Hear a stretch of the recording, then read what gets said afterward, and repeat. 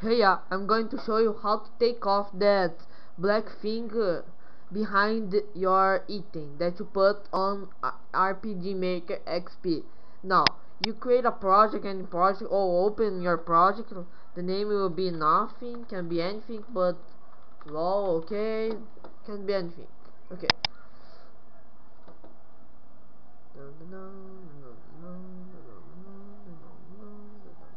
Like many people uh, think that it looks ugly when you put the when it appears the black ground behind the tree or building or something like that.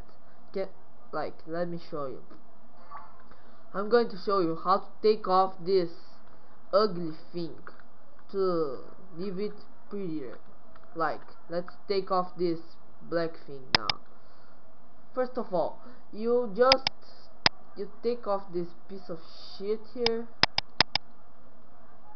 Uh, now to take off that shit you create on you put the item on this one not this. This it will appear the background but on this it won't.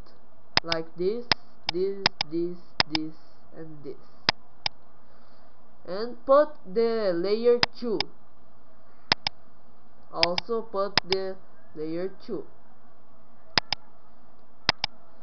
then it will look prettier.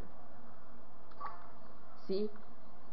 But if you want to put uh let me see this. Let's take off this. Let's see. Look. If you want wait a sec. Fuck.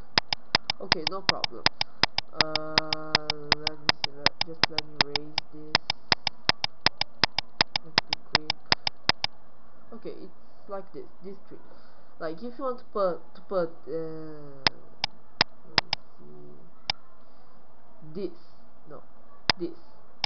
Like if you only put on 3 it's going to appear like this right? But let let's see. If you want to put a tree behind like this it it won't appear. So you put it on layer 2 here like this then here okay? The thing is going to appear like this like this. Let's see how it looks like. See the thing is going to appear this part you see this part. If you don't put on layer 2 it won't appear this part. So uh, that's how you take off the black thing.